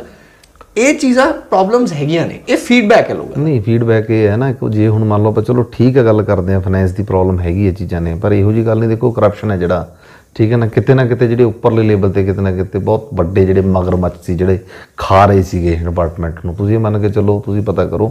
ਮੈਂ ਨਹੀਂ ਕਹਿੰਦਾ ਤੁਸੀਂ ਤੁਹਾਨੂੰ ਤੁਸੀਂ ਸਰਚ ਕਰੋ ਇਹਨਾਂ ਚੀਜ਼ਾਂ ਨੂੰ। ਮਤਲਬ ਜੀਐਸਟੀ ਦੀ ਜਿਹੜੀ ਕਲੈਕਸ਼ਨ ਹੈ ਪਿਛਲੇ 6 ਮਹੀਨਿਆਂ ਚ 30% ਤੱਕ ਵਾਧਾ ਹੋਇਆ ਉਹਦੇ ਚ। ਸਰ ਉਹ ਵੀ ਇੱਕ ਬਹੁਤ ਵਧੀਆ ਟੌਪਿਕ ਹੈ। ਆਪਾਂ ਉਸ ਤੇ ਵੀ ਮੈਂ ਚਲੋ ਤੇ ਜਾਵਾਂਗੇ। ਕਹਿਣ ਦਾ ਮਤਲਬ ਜਿੱਥੇ ਕਿਤੇ ਹੁਣ ਕਰਪਸ਼ਨ ਘਟ ਰਹੀ ਹੈ ਤਾਂ ਮੀਨ ਕਿਤੇ ਨਾ ਕਿਤੇ ਖਜ਼ਾਨਾ ਜਿਹੜਾ ਉਹ ਵੱਧ ਵੀ ਰਿਹਾ ਉਹ ਭਰ ਵੀ ਰਿਹਾ। ਉਹ ਸਾਰੀਆਂ ਚੀਜ਼ਾਂ ਟਾਈਮਲੀ ਹੋ ਜਾਣਗੀਆਂ। ਬਟ ਮੈਂ ਕਹਿੰਦਾ ਵੈਭਵ ਜੀ ਦੇਖੋ ਐਡੀ ਛੇਤੀ ਮੰਨ ਲਓ ਠੀਕ ਹੈ ਐਕਸੈਪਟੇਸ਼ਨ ਲੋਕਾਂ ਦੀਆਂ ਬਹੁਤ ਨੇ ਕਿਉਂਕਿ ਪਹਿਲਾਂ ਬਰਬਾਦ ਹੀ ਇੰਨਾ ਕੀਤਾ ਇਹਨਾਂ ਨੇ ਠੀਕ ਹੈ ਤਾਂ ਨਾਲ ਲੋਕਾਂ ਦੀ ਐਕਸੈਪਟੇਸ਼ਨ ਵੀ ਬਹੁਤ ਜ਼ਿਆਦਾ ਨੇ ਠੀਕ ਹੈ। ਔਰ ਥੋੜਾ ਟਾਈਮ ਦਿਓ। ਔਰ ਬਾਕੀ ਜੇ ਤੁਸੀਂ ਪਿਛਲੇ 7 ਮਹੀਨਿਆਂ ਦੀ ਕਾਰਗੁਜ਼ਾਰੀ ਜੇ ਐਕਚੁਅਲ ਚ ਦੇਖੋ ਤਾਂ ਕਾਂਗਰਸ ਦੀ ਪਿਛਲੇ 5 ਸਾਲਾਂ ਦੀ ਜਾਂ ਅਕਾਲੀ ਦਲ ਦੇ ਪਿਛਲੇ 5 ਸਾਲ ਲਓ 10 ਸਾਲਾਂ ਦੀ ਕਾਰਗੁਜ਼ਾਰੀ ਬਨਾਮ 7 ਮਹੀਨੇ 6 ਮਹੀਨੇ ਠੀਕ ਹੈ ਨਾ? ਕਿਤੇ ਨਾ ਕਿਤੇ ਜਦੋਂ ਤੁਸੀਂ ਉਹ ਤੇ ਨਿਚੋੜ ਕੱਢੋਗੇ ਤਾਂ ਤੁਸੀਂ ਦੇਖੋਗੇ ਵੀ ਇਹ ਬਹੁਤ ਵਧੀਆ ਤੇ ਅੱਗੇ ਅੱਗੇ ਹੈ। ਸਮਾਂ ਦਿਓ ਸਭ ਕੁਝ ਵਧੀਆ ਹੋਏਗਾ। ਮਾੜਾ ਕੁਝ ਨਹੀਂ ਹੋਊਗਾ। ਹੁਣ ਲਾਸਟ ਦੇ ਵਿੱਚ ਸਿਰਫ ਦੋ ਚੀਜ਼ਾਂ। ਤੁਹਾਡਾ ਬਹੁਤ ਵਧੀਆ ਕਨਵਰਸੇਸ਼ਨ ਰਹੀ।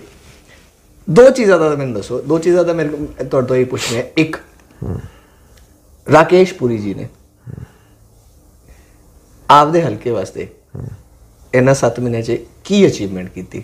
ਕੋਈ ਇਹੋ ਜਿਹਾ ਕੰਮ ਜਿਹੜਾ ਤੁਸੀਂ ਕੀਤਾ ਹੋਵੇ ਤੁਹਾਨੂੰ ਮਾਣ ਹੋਵੇ। ਕਿ ਮੈਂ ਆਹ ਕੰਮ ਕਰਕੇ ਦਿੱਤਾ ਕਰਵਾ ਕੇ ਦਿੱਤਾ ਹੈ ਜਾਂ ਮੈਂ ਇਨੀਸ਼ੀਏਟਿਵ ਲਿਆ। ਤੇ ਤੁਹਾਡਾ ਵਿਜ਼ਨ ਕੀ ਹੈ ਕਿ ਆਉਣ ਵਾਲੇ ਟਾਈਮ ਦੇ ਵਿੱਚ ਆਪਦੇ ਹਲਕੇ ਵਾਸਤੇ ਤਾਂ ਮੈਂ ਆਹ ਕਰਨਾ ਹੀ ਕਰਨਾ ਯਾਰ ਕਿ ਮੈਨੂੰ ਇੱਕ ਲੋਕਾਂ ਨੇ ਕਿਹਾ ਸੀ ਜਦੋਂ ਅਸੀਂ ਲੋਕਾਂ ਕੋਲ ਗਏ ਸੀ ਵੋਟਾਂ ਮੰਗਣ ਵਾਸਤੇ ਆਹ ਗੱਲ ਕਿਹਾ ਸੀ ਆਹ ਕੰਮ ਕਰਵਾਉਣਾ ਹੈ। ਇਹ ਜੋ ਨੀਅਰ ਫਿਊਚਰ ਦੇ ਲੌਂਗ ਟਰਮ ਨਾਲੇ ਇਹ ਜੇ ਉਹ ਦੱਸਿਆ ਜੇ ਮੈਨੂੰ ਇਹ ਨਾ ਦੱਸਿਆ ਕਿ ਅਸੀਂ ਟਾਈਲਾਂ ਲਵਾ ਦੇਣੀਆਂ ਜਾਂ ਮੈਂ ਨਾਲੀਆਂ ਗਲੀਆਂ ਬਣਵਾ ਦੂੰਗਾ ਕਿਉਂਕਿ ਉਹ ਪੋਲਿਟਿਕਸ ਹੈ। ਕਿਉਂਕਿ ਆਪਾਂ ਹਾਲ ਤੱਕ ਉਹਦੇ 'ਚ ਹੀ ਫਸੇ ਹੋਏ ਆ ਉਦੋਂ ਤੋਂ ਤਾਂ ਬਾਹਰ ਹੀ ਨਿਕਲੇ। ਇਹੀ ਜੀ ਚੀਜ਼ ਜਿਹੜਾ ਲੌਂਗ ਟਰਮ ਵਿਜ਼ਨ ਹੈ ਕਿ ਆਹ ਕੰਮ ਹੋਊਗਾ ਇਹਦੇ ਵਾਸਤੇ ਅਗਲੇ 10 ਸਾਲ ਫਾਇਦਾ ਹੋਊਗਾ। ਕੋਈ ਹੈ ਇਸ ਦੇਖੋ ਵੈਭਵ ਜੀ ਮੈਂ ਪਾਰਟਿਕੂਲਰ ਜੇ ਕਿਸੇ ਇੱਕ ਚੀਜ਼ ਦੇ ਬਾਰੇ ਕਹਾ ਮੈਂ ਉਹ ਨਹੀਂ ਕਹੂੰਗਾ ਦੇਖੋ ਪੂਰਾ ਪੰਜਾਬ ਹੀ ਮੇਰਾ ਘਰ ਹੈ। ਬਿਲਕੁਲ। ਠੀਕ ਹੈ? ਔਰ ਮੈਂ ਜ਼ਿਆਦਾ ਕੁਝ ਨਹੀਂ ਕਹੂੰਗਾ ਦੇਖੋ ਜੋ ਡਿਪਾਰਟਮੈਂਟ ਮੈਨੂੰ ਮਿਲਿਆ ਹੈਗਾ ਜੋ ਜੋ ਕਾਰਪੋਰੇਸ਼ਨ ਮੇਰੇ ਕੋਲੇ ਜੋ ਵਨ ਵਿਭਾਗ ਦਾ ਜਿਹੜਾ ਮਤਲਬ ਇਹ ਅਦਾਰਾ ਹੈਗਾ ਤਾਂ ਇੱਕ ਚੀਜ਼ ਹੈ ਵੀ ਸੀਐਮ ਸਾਹਿਬ ਦਾ ਜਿੱਦਾਂ ਦਾ ਸੁਪਨਾ ਹੈ ਜੋ ਉਹਨਾਂ ਨੇ ਪੰਜਾਬ ਨੂੰ ਰੰਗਲਾ ਪੰਜਾਬ ਬਣਾਉਣ ਦਾ ਸੁਪਨਾ ਜਿਹੜਾ ਉਹਨਾਂ ਨੇ ਦੇਖਿਆ ਹੈਗਾ ਠੀਕ ਹੈ ਉਸ ਰੰਗਲਾ ਪੰਜਾਬ ਬਣਾਉਣ ਵਾਸਤੇ ਸਾਡੀ ਕਾਰਪੋਰੇਸ਼ਨ ਦਾ ਅਹਿਮ ਯੋਗਦਾਨ ਹੋਊਗਾ। ਔਰ ਜਿੱਥੋਂ ਤੱਕ ਗੱਲ ਕਰਦੇ ਆ ਵੀ ਮੈਂ ਆਪਦੇ ਹਲਕੇ ਦੀ ਗੱਲ ਕਰਾਂ ਠੀਕ ਹੈ ਇਹ ਸਮੱਸਿਆ ਇਕੱਲੇ ਮੇਰੇ ਹਲਕੇ ਦੀ ਨਹੀਂ ਇਹ ਪੂਰੇ ਪੰਜਾਬ ਦੀ ਸਮੱਸਿਆ ਹੈਗੀ ਹੈ।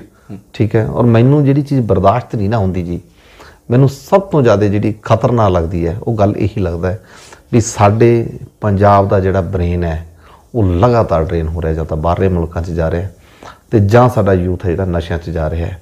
ਇਹ ਸਭ ਤੋਂ ਵੱਡੀ ਸਮੱਸਿਆ ਮੈਨੂੰ ਲੱਗਦੀ ਹੈਗੀ ਹੈ। ਔਰ ਮੇਰੀ ਜਿਹੜੀ ਇੱਛਾ ਇਹੀ ਹੈ ਵੀ ਵੀ ਇਦਾਂ ਦਾ ਕੰਮ ਹੋਵੇ ਜਾਂ ਇਦਾਂ ਦਾ ਹੋਵੇ ਵੀ ਸਾਡੇ ਯੂਥ ਨੂੰ ਯਾਰ ਬਾਹਰ ਜਾਣ ਦੀ ਜ਼ਰੂਰਤ ਨਾ ਪਵੇ। ਠੀਕ ਹੈ? ਇੱਕ ਤਾਂ ਬੱਚੇ ਮਾਪਿਓ ਤੋਂ ਦੂਰ ਜਾਂਦੇ ਨੇ। ਬਿਲਕੁਲ। ਬੁਢਾਪਾ ਰੁਲ ਜਾਂਦਾ ਪਿੱਛੇ। ਠੀਕ ਹੈ ਤੁਸੀਂ ਉਹਨਾਂ ਘਰਾਂ ਦੇ ਵਿੱਚ ਜਾ ਕੇ ਦੇਖੋ ਕੀ ਹਾਲਾਤ ਨੇ ਉਹਨਾਂ ਦੇ। ਸੰਸਕਾਰ ਤੇ ਨਹੀਂ ਪਹੁੰਚ ਸਕਦੇ। ਜੀ ਸੰਸਕਾਰ ਤੇ ਨਹੀਂ ਪਹੁੰਚ ਸਕਦੇ। ਵਿਆਖਿਆਂ ਤੇ ਨਹੀਂ ਪਹੁੰਚ ਸਕਦੇ ਬਹੁਤ ਦਿੱਕਤ ਆਉਂਦੀ ਹੈ। ਬਹੁਤ ਦਿੱਕਤ ਔਰ ਬੜੀਆਂ ਚੀਜ਼ਾਂ ਮੇਰੇ ਸਾਹਮਣੇ ਵੀ ਹੋਈਆਂ ਨੇ। ਹਾਂ ਹਲੇ ਮੈਂ ਕੱਲ ਕਿਸੇ ਦੇ ਰਿਸ਼ਤੇਦਾਰੀਆਂ ਦੇ ਵਿੱਚ ਵੀ ਹੋਈਆਂ ਨੇ। ਠੀਕ ਹੈ ਉਹ ਬੜਾ ਮੇਰੇ ਵਾਸਤੇ ਦਰਦਨਾਕ ਹੈ। ਔਰ ਮੈਂ ਕੰਮ ਇਹ ਕਰ ਰਿਹਾ ਵੀ ਕਾਰਪੋਰੇਸ਼ਨ ਨੂੰ ਮਤਲਬ ਨਵੇਂ ਨਵੇਂ ਯੂਨਿਟ ਮਤਲਬ ਇਦਾਂ ਦੇ ਲਾਏ ਜਾਣ ਜਿਹਦੇ ਨਾਲ ਕਾਰਪੋਰੇਸ਼ਨ ਡਿਵੈਲਪ ਹੋਵੇ ਔਰ ਸਰਕਾਰ ਦਾ ਖਜ਼ਾਨਾ ਭਰੇ ਚੰਗੀ ਇੰਡਸਟਰੀ ਪੰਜਾਬ ਦੇ ਵਿੱਚ ਆਵੇ ਠੀਕ ਹੈ ਔਰ ਜਿਹਦੇ ਕਰਕੇ ਸਾਡੇ ਯੂਥ ਨੂੰ ਬਾਹਰ ਨਾ ਜਾਣਾ ਪਵੇ ਠੀਕ ਹੈ। ਮਾਂ ਪਿਓ ਦੇ ਵਿੱਚ ਜਿਹੜੇ ਬੱਚਿਆਂ ਤੇ ਮਾਂ ਪਿਓ ਦੇ ਵਿੱਚ ਜਿਹੜਾ ਇੱਕ ਵਿਛੋੜਾ ਜਿਹੜਾ ਹੈ ਉਹ ਨਾ ਬਣੇ ਕਿਉਂਕਿ ਕਿਤੇ ਨਾ ਕਿਤੇ ਸਾਡੀਆਂ ਜਿਹੜੀਆਂ ਨਸਲ ਹੈ ਨਾ ਵੈਭਵ ਜੀ ਉਹ ਵੀ ਖਤਮ ਹੋ ਜਾਣਗੀਆਂ। ਮੈਂ ਜਿੱਥੋਂ ਤੱਕ ਮੈਂ ਤੁਹਾਨੂੰ ਗੱਲ ਦੱਸਾਂ ਵੀ ਜੋ ਬੱਚਾ ਅੱਜ ਬਾਹਰ ਚਲਾ ਗਿਆ ਉਸ ਤੋਂ ਬਾਅਦ ਜਿਹੜੀ ਸਾਡੀ ਤੀਜੀ ਪੀੜ੍ਹੀ ਉਹ ਪੰਜਾਬੀ ਨਹੀਂ ਰਹੂਗੀ। ਬਿਲਕੁਲ।